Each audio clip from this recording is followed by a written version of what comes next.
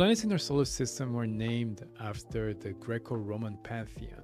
For example, Jupiter or Zeus, the king of the gods, or in this case, the king of the planets. Mars or Ares, the god of war. Pluto or Hades, the god of the underworld.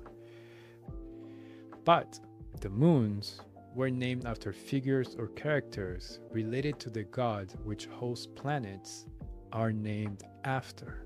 They use the Greek name because the planets they have the Roman or Latin name of those god of those gods.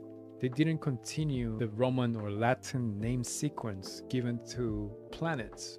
Instead, they opted to give them the Greek names of these figures and characters that were related to the gods named after the planets. Like when a planet's name is in Latin, the ancient Roman language, the names of the people during the events surrounding that god's life were then used as the moon's name, but its Greek version. Except for Earth and Uranus,